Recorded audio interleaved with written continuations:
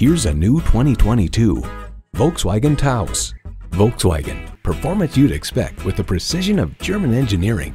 You'll look forward to every drive with features like these. Intercooled turbo inline four-cylinder engine, front heated bucket seats, streaming audio, manual tilting steering column, Wi-Fi hotspot, external memory control, aluminum wheels, inductive device charging, and LED low and high beam headlights. Hurry in today for a test drive.